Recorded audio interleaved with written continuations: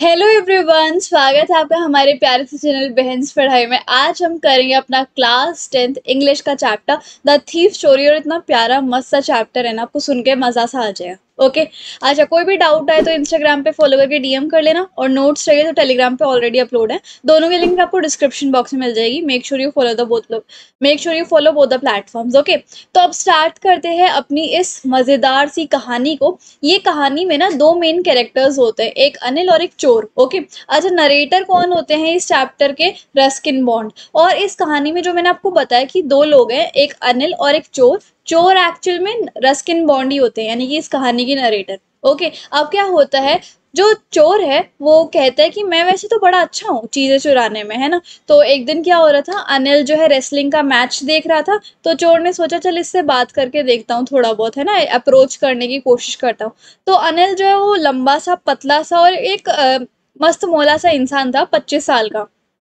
और चोर कहता है, थीफ जो है, वो कहता है कि मैंने ना काफ़ी टाइम से चोरी नहीं करी है और शायद अनिल को देख के उसे ऐसा लगता है कि हाँ मेरे चोरी करने का चांस जो है वो आ गया है, ठीक है? तो उसे लगता है कि अनिल जो है वो काफ़ी अच्छा इंसान है, मैं इससे आराम से कंफर्टेबल भी हो जाऊँगा और आराम से इसे चीज़ें भी चुरा लूँगा।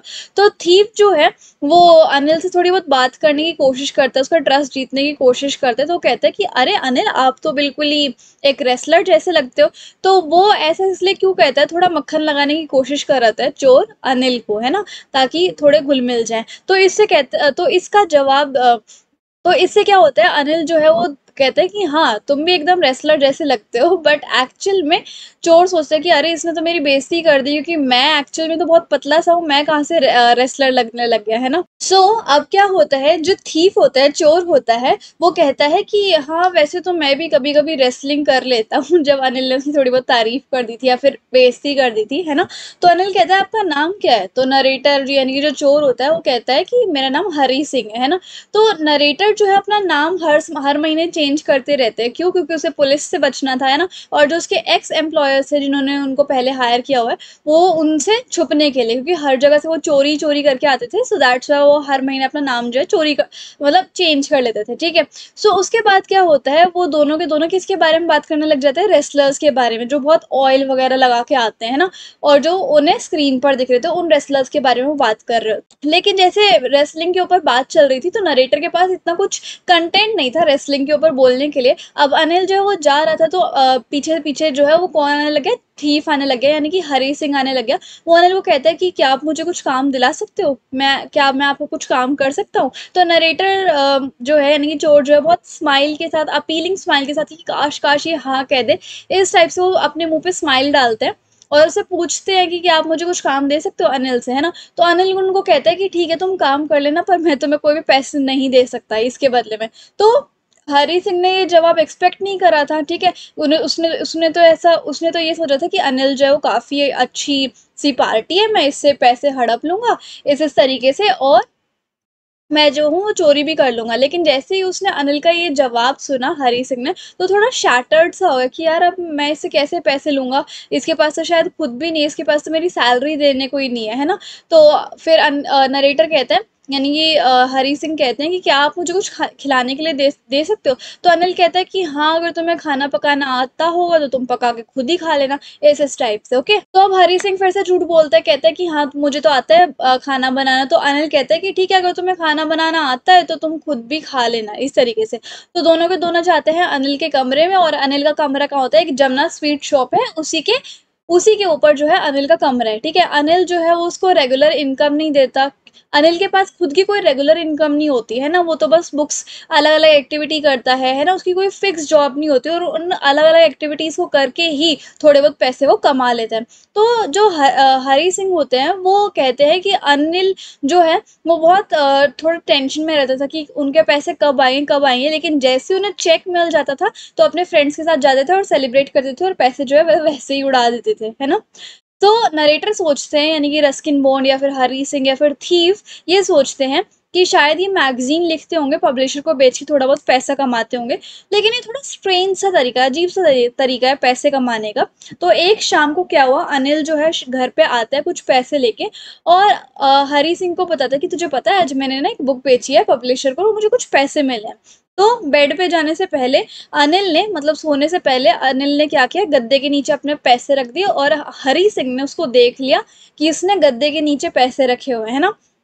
हाँ तो हरि सिंह कहते हैं यार मेरे को तो एक महीना हो गया अनिल के साथ काम करते करते और मैंने अभी तक इसको चीट नहीं किया है। मैंने अभी तक इसके साथ कुछ ऐसा बेकार व्यवहार नहीं किया। बस ऐसे बस डेली एक ही रुपया निकालता हूँ मैं आ, इसके गले में से या फिर इसके मनी में से। बस एक रुपया निकालता हूँ, बाकी मैंने इसको कोई चीट नहीं किया। तो नरेटर ये सोचता है कि हाँ ये अच्छा चांस है मेरा चुराने का। तो और अनिल के जो रूम की चाबियाँ होती है, वो नरेटर के पास भी होती हैं। अगर वो जब भी चोरी करना चाहे तो आराम से कर सकता है, ठीक है?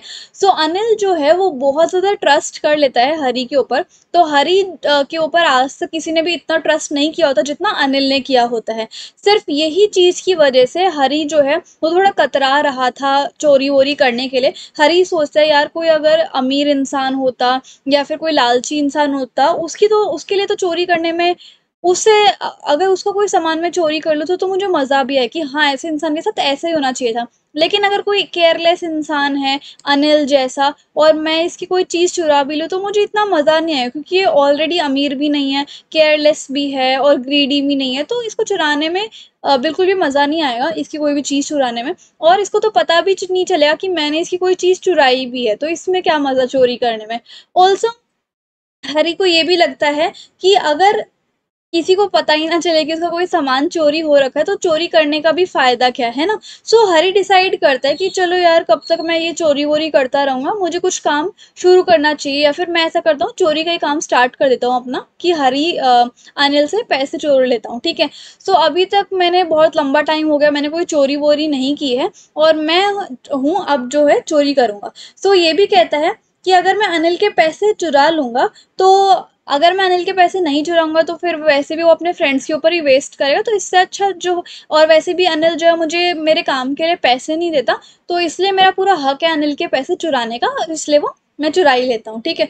तो हरी ने अपना काम स्टार्ट कर दिया। जब अनिल क्या कर रहा था? सो रहा था, है ना? तो अनिल के मुँह पे जब वो सो रहा था तो मून लाइट जो है, उसके मुँह पे आ रही थी विंडो के थ्रू ठीक है? तो हरी जो है फ्लोर के ऊपर बैठ जाता है प्लान करता है कि गद्दे के नीचे से पैसे कैसे कैसे निकालने हैं। और उसने ये प्लान किया कि साढ़े दस बजे लखनऊ एक्सप्रेस ट्रेन जो है, उससे मैं निकल जाऊँगा शहर छोड़ के चला जाऊँगा पैसे चुराने के बाद, ठीक है? तो हरी रेंगता रेंगता बेड के ऊपर जाता है, उसका हैंड वो स्लिप करता है, गद्दे के नीचे लेके आता है अपना हाथ और वो अनिल की तरफ़ देखता है, वो बहुत पीसफुली शांति से एकदम सो रहा था। उसके मुँह पे एक लाइन भी नहीं थी और हरी के फेस पे इतने सारे स्कार्स थे, ठीक है? तो उसने देखा कि वैसे तो मैं अनिल से काफ़ी छोटा हूँ उम्र में, लेकिन मेरी इतनी शक्ल की बुरी अपीयरेंस है।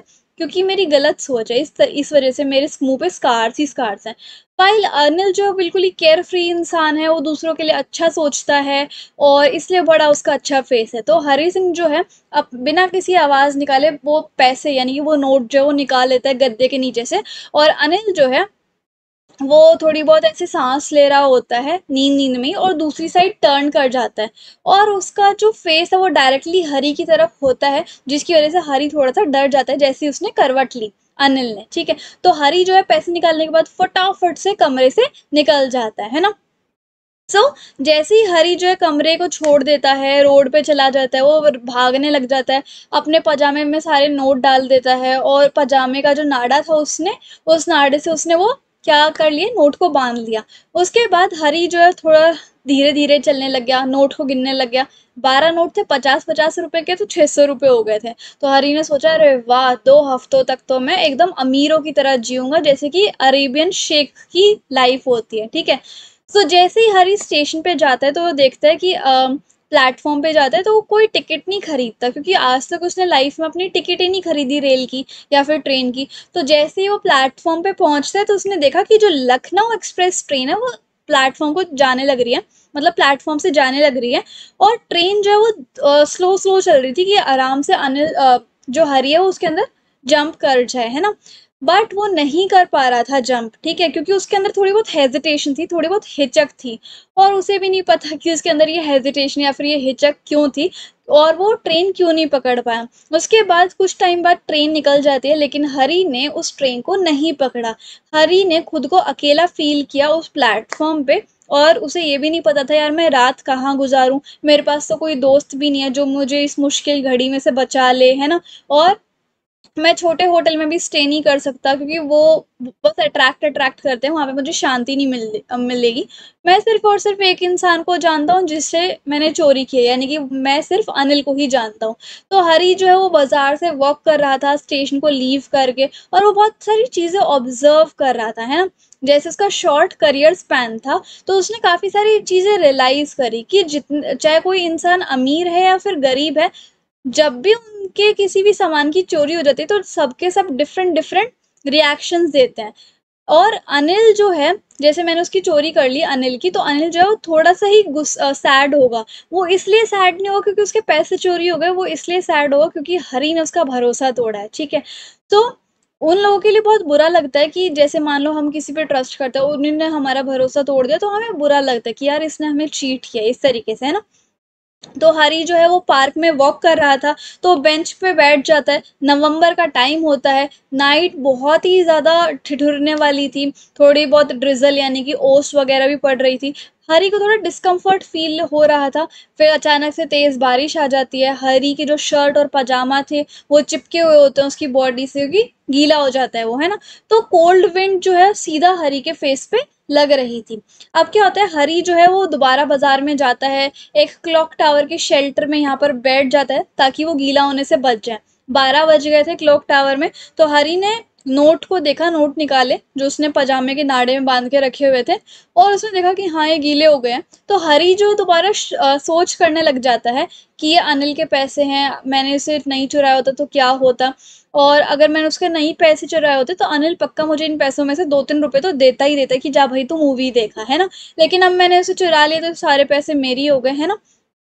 अब मैं ना तो चाय बना पाऊँगा, ना ग्रॉसरीज लेके आ पाऊँगा अनिल के लिए, ना मैं सेंटेंसेस को लिखना सीख पाऊँगा। तो उसने रियलाइज़ नहीं किया चोरी करते वक्त अनिल तो उसने रियलाइज़ नहीं किया चोरी करते वक्त किसने? हरी सिंह ने कि यार मैं चोरी तो कर रहा हूँ, लेकिन मेरे सारे मज़े ग्रॉसरीज करना या फिर टी बनाना या फिर सेंटेंसेस को लिखना, ये सब चला जाएगा, ठीक है?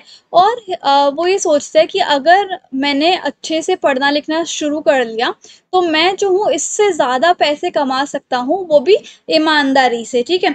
ये बहुत आसान होता है कि हम किसी के पैसे या फिर किसी का कुछ भी चुरा लेते हैं, लेकिन इतना इतना ही आसान पकड़े जाना भी होता है ठीक है? सो उसे ये चीज़ पता थी अगर मैं अच्छे से लिखना पढ़ना चालू करूँगा मुझे अगर लिखना पढ़ना आ जाए तो मैं एक दिन बहुत बड़ा और रिस्पेक्टफुल आदमी बन जाऊँगा एक दिन ठीक है? सो so, हरी जो है वो खुद को कहता है कि हाँ मुझे वापस जाना चाहिए हरी के पैसे लुटाने चाहिए उसके थ्रू अनिल से अनिल से लिखना पढ़ना सीखना चाहिए ताकि मैं एक अच्छा इंसान और एक बहुत बड़ा इंसान बन सकूँ एक दिन ठीक है? तो हरी जो है वापस जाता है। अनिल के रूम में थोड़ा नर्वस हो, आ, होता है वो क्योंकि चुराई हुई चीज़ को वापस देना बहुत मुश्किल होता है ठीक है? सो हरी जो है वो जाता है हॉलवे में मून लाइट फिर से अनिल के ऊपर गिर रही होती है और अनिल जो है अभी भी सोया हुआ था तो हरी जो है बेड के हेड पर जाता है और नोट निकालता है। मैट्रेस के पास जाता है गद्दे के पास जाता है। उसके हाथ पे जो है अनिल की साँसें फील हो रही थी।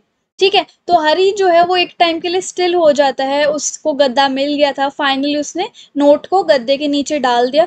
नेक्स्ट मॉर्निंग हरी जो है थोड़ा लेट उठता है और अनिल ने मक्खी आ गई। सो so, अनिल क्या करता है ऑलरेडी टी बना चुका होता है ठीक है? अनिल ने अपना हाथ दिया।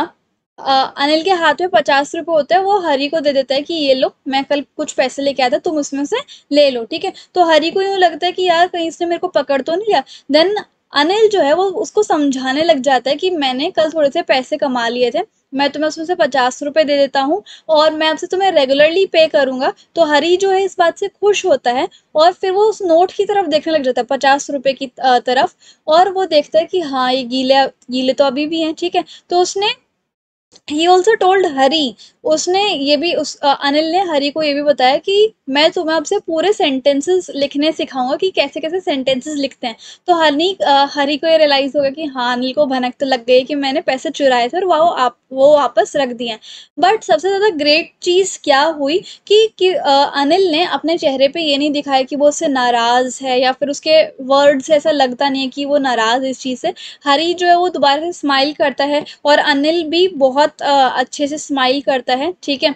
आ, कि कोई भी ऐसी शिकन विकन नहीं होती किसी के भी चेहरे पे कि इसने गलत काम किया है या फिर पकड़ा गया है इस टाइप का दोनों के फेस पे नहीं दिख रहा होता ठीक है? तो इस इस तरीके से ये बहुत प्यारी सी स्टोरी है हमारी ख़त्म होती है। इससे काफ़ी अच्छा मैसेज हमें देखने को मिलता है सीखने को मिलता है कि चोरी नहीं करनी चाहिए थोड़े टाइम की बात है मेहनत करेंगे तो काफ़ी अच्छा सा हम खुद भी कमा सकते हैं। वो भी एक अच्छे नियत से अच्छे तरीके से ऑनेस्टली ठीक है? और इतना चोरी करेंगे तो थोड़ी बहुत मेहनत, जितनी मेहनत हम चोरी कर रहे हैं, उतनी मेहनत हम किसी और चीज़ में लगा के और बहुत सारे पैसे अर्न कर सकते हैं। ठीक है? Just patience and patience and hard work हमें करना होता है। ठीक है? सो आई होप आपको वीडियो और समझाने का तरीका काफ़ी अच्छा लगा होगा। इंस्टाग्राम एंड टेलीग्राम पे ज़रूर फॉलो कर लेना। So if you like the video and the explanation then please like share comment and subscribe the channel thank you so much